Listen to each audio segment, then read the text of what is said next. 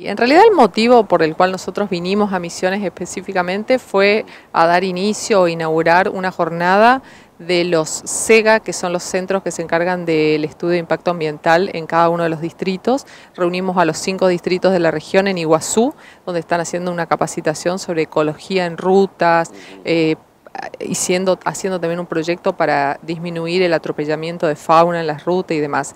Pero aprovechamos este compromiso que teníamos de venir hacer una recorrida por esta obra que, que se inició hace muy poquito, que es Santa Ana Loreto. Y ahora, bueno, estuvimos reunidos con la gente de la empresa, con la gente de EVI. Como ustedes saben, esta obra la financia totalmente la EVI, pero la supervisa en conjunto con Vialidad Nacional es una ruta nacional, así que nosotros, bueno, supervisamos y la UTE que, está encargada de la obra es JCR con SACDE y nos estuvieron mostrando un poco cómo quedó totalmente definido el, proyecto y por dónde van a empezar. Estuvimos viendo eso y la verdad que estamos contentos. Es una obra de dos años. ¿Cuál es el presupuesto de la obra? ¿Cuáles son los, los plazos de, de realización de las obras y de finalización? El plazo de la obra es de 2 millones, eh, perdón, el plazo de la obra es de dos años y el presupuesto hay todavía que hacer alguna, algún tipo de redeterminación de precios, pero bueno, eh, son 8 kilómetros de, obra, digamos, que, completarían esta etapa porque después hay una segunda etapa para llegar y terminar con nuestra famosa autovía Posada San Ignacio. Bueno, ¿cómo quedaría redefinida entonces la, la Ruta 12 en Misiones? En Misiones nosotros hacemos ahora esto, que está financiado por la EBI, ellos van a hacer la segunda etapa, que va a completar la autovía hasta San Ignacio, y nosotros desde Vialidad... ¿Ellos quiénes son? EBI, va a financiar. Nosotros desde Vialidad Nacional estamos preparando el proyecto completo para eh, poder licitar en la tercera etapa de las PPP, como usted bien sabe, la primera etapa ya se firmó y se iniciaron incluso algunos corredores en la parte central del país. La segunda etapa incluye el segundo puente Chaco Corrientes y la ruta desde Sáenz Peña hasta Resistencia y luego una autovía hasta Empedrado. Y la tercera etapa incluye, eh, no es misiones, pero les cuento porque me parece que es importante también para los misioneros, incluye autovía desde lo que es Santa Ana Corrientes hasta Paso de la Patria, ruta segura hasta Posadas, esto tendría que estar terminado hasta San Ignacio, y después ruta segura, que tiene en gran parte, pero no en todo el trayecto, hasta Monte Carlos, de Monte Carlos a El Dorado autopista, porque es el tramo de mayor tránsito, y de Monte, del Dorado hasta Iguazú, ruta segura. Ese es el proyecto que nosotros todo lo que no está hecho dentro de ese corredor lo vamos a licitar en la tercera etapa de las PPP. La construcción de, esta autovía Monte Carlo El Dorado motivaría eh, el corrimiento de la casilla de, peaje. Todavía no estamos seguros. Es una, una posibilidad y una evaluación que cuando estaba el ingeniero Iguacel lo planteó, pero en realidad eh, eso lo va a definir nosotros hacemos el anteproyecto, lo presentamos en oferta y después las empresas que se presentan realmente en la licitación son las que, eh, eh, digamos, hacen diferentes propuestas. Puede ser que en una de estas propuestas propongan el corrimiento del, peaje. Hoy por hoy, eh, la jefa de distrito tuvo varias reuniones con el intendente de Victoria, la gente quedó bastante satisfecha con la tarjeta que se le dio, que evita que paguen dos veces. Y nosotros, bueno, eh, estamos colaborando siempre con ellos y demás, pero puede ser que la ecuación indique que lo óptimo sería poner donde está la autopista pero puede ser que no, o sea, no, no hay seguridad sobre eso. Lo que sí estamos seguros es que queremos construir la autopista en, esa, en ese tramo porque supera los 5.000 vehículos diarios. A ver, cuando estuvo Iguacel aquí en Misiones al inicio de su gestión, habló de la posibilidad de eliminar las casillas de peaje allí donde no hubiera eh, autovía o autopista. Eh, ¿Se sigue trabajando sobre esa hipótesis? Sí, sí, se sigue trabajando sobre esa hipótesis. De hecho, se eliminaron se eliminaron todas las casillas en Ruta 11. En el tramo desde Santa Fe hasta Resistencia se sacaron el mes pasado, las, levantamos, digamos, eh, incluso hubo una discusión si, si realmente destruir las casillas o dejarla para otro tipo de control y se decidió directamente sacarlas. O sea que se eliminaron las casillas en esa ruta donde no es autopista. Se sigue con ese concepto. Acá vuelvo a insistir, quizás no está definido el cambio porque sería la misma gente que va a ocupar ese corredor, también pues, muy posiblemente pase por, por el peaje actual de Victoria y hay una balanza, pero también puede ser la posibilidad de que lo corran, no está definido. ¿Y una eliminación de, esa casilla de peaje, dado que ahí no hay autopista? ¿Se piensa en eso? Sí, también, sí, es una posibilidad, por eso le decía, nosotros teníamos como casi definido que íbamos a eliminar Victoria y Riachuelo, porque eran dos lugares donde no, no iba a haber autopista. Hoy por hoy en la ecuación que estamos preparando para la segunda etapa PPP, estamos por hacer autopista en Riachuelo, de Riachuelo hasta Empedrado, entonces la casilla va a quedar. Por eso digo, a lo mejor eh, hay cosas que no están del todo definidas eh, y además no nosotros hacemos la propuesta, pero después las empresas que son, aclaro y cuento un poco las PPP en qué consisten. Consiste en que las empresas que se presentan a licitación son las que tienen que invertir en la obra y en cinco años terminar la obra poniendo toda la plata a ellos. El Estado Nacional le devuelve ese dinero con una parte mínima con un peaje y, el resto, que es la mayor parte, con el impuesto a los combustibles, que ya existe pero que se gasta en otras cosas. Eh, el compromiso del Estado es todo lo que ingresa por impuesto a combustible, destinarlo a la devolución de estas obras, de estas inversiones privadas. ¿Y cuál es la ganancia, digamos, de los ciudadanos?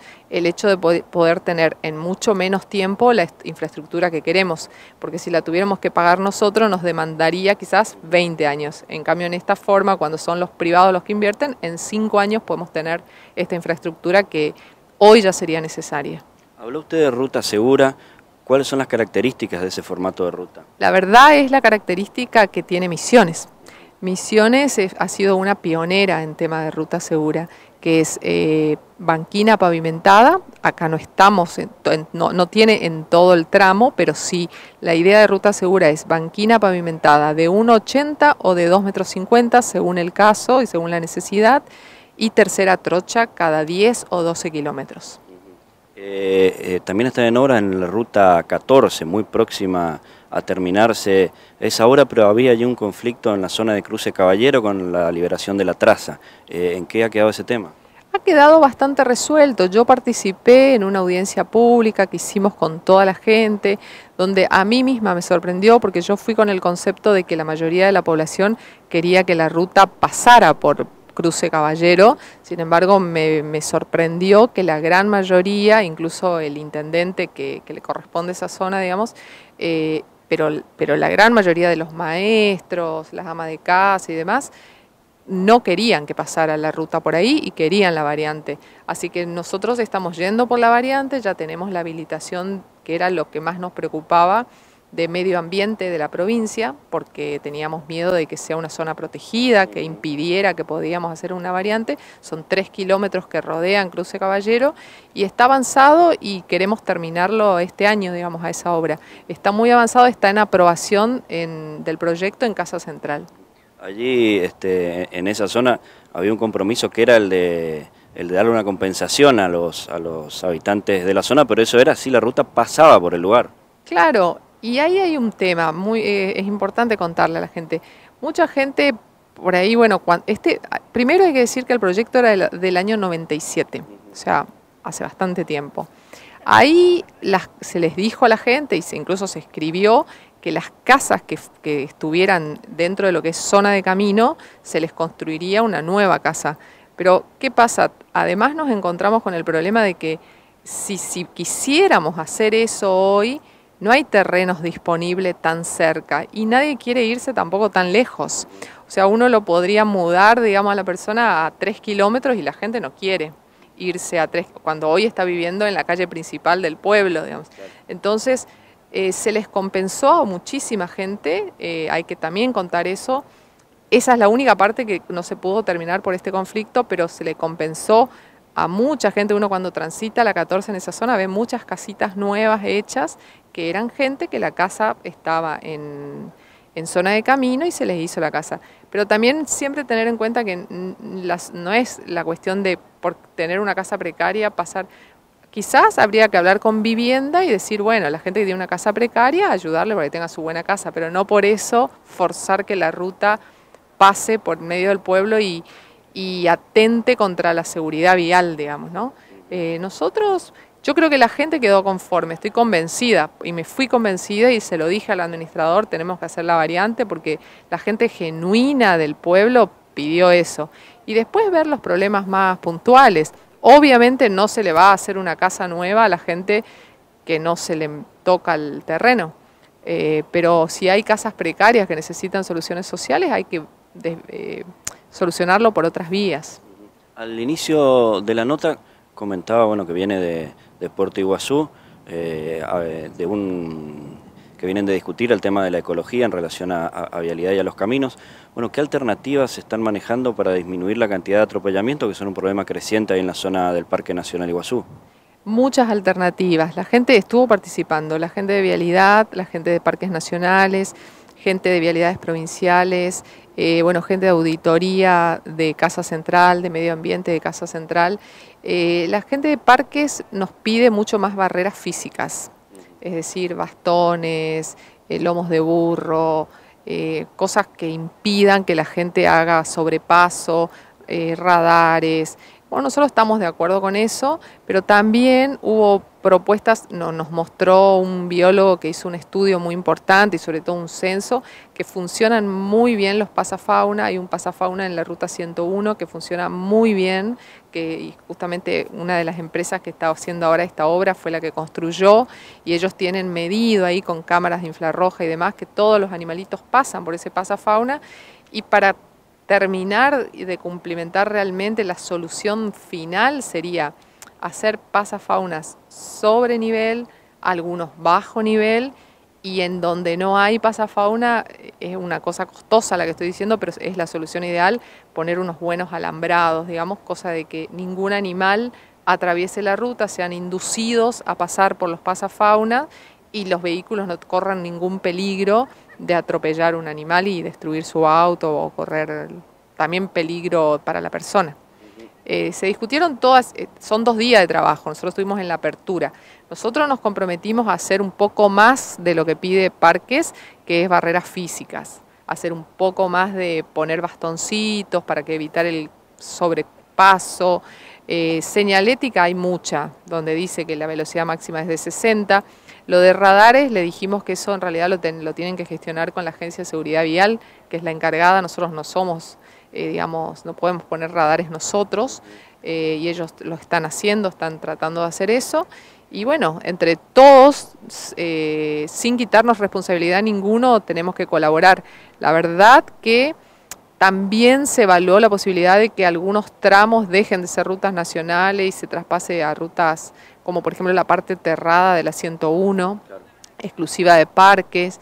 Todo, todo, los otros, todo lo que convenga hay que compatibilizar el disminuir el atropellamiento de fauna y al mismo tiempo tampoco entorpecer tanto el tránsito de la gente, ¿no?